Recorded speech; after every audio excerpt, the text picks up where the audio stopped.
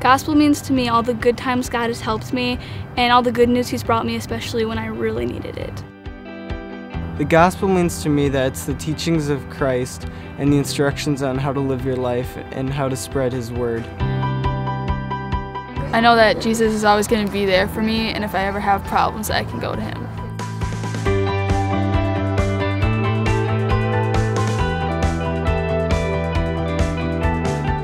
Gospel to me means the first four books of the New Testament, so Matthew, Mark, Luke, and John, and the story of Jesus' life and his teachings. The gospel means to me is the life and death and resurrection of Jesus and the stories that tell us about his life. The gospel means to me the first books Matthew, Mark, Luke, and John, all the stories and good news Jesus has brought and said.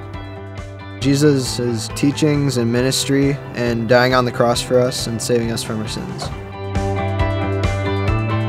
The gospel means everything to me.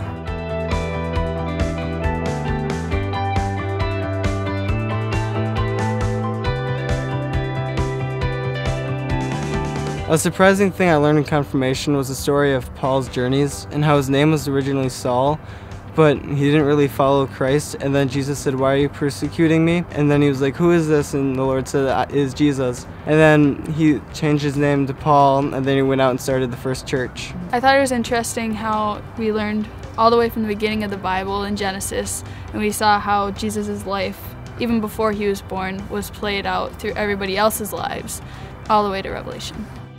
I've learned a lot more about the Holy Spirit and what it is and what it does to everybody.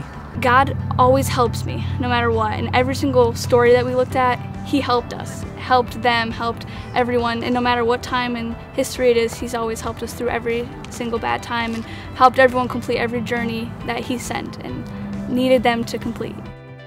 Confirmation was two years, and the first year we did the Old Testament, and the second year we did the New Testament. And I really liked how they interconnected and we learned, you know, something that happened in the Old Testament. Now we learned about it in the New Testament and it just connected well. Cain and Abel. The way um, Cain killed his brother Abel over jealousy. He killed his brother because he didn't give God a good offering, and his brother did. How fast the original church spread and how large it became that all the stories that we heard about in Jesus um, that they worship back then, after a thousand years, he's still the same and we still worship him today.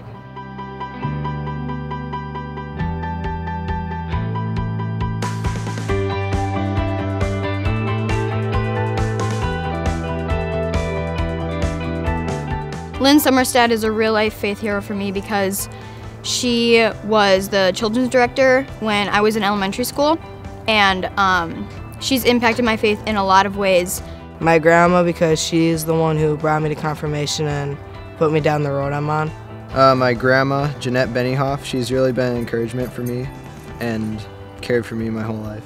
My whole family's real faith heroes because they teach me more about the gospel, Jesus, and everything. Roxy, my small group leader, because she's really nice and any questions I have about God or anything, she always has the answer.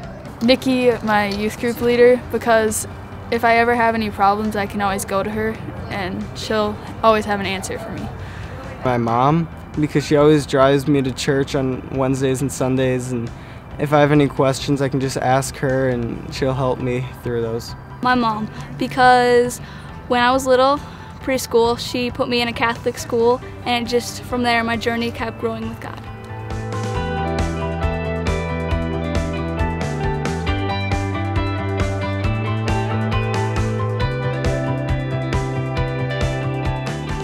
Uh, definitely swim in hand sanitizer because I'm a clean freak and a mop sounds disgusting. I think I'd rather swim in the hand sanitizer because it'd be more soothing. A pool of hand sanitizer so then I'll be very clean. I would swim in a pool of hand sanitizer because it seems fun.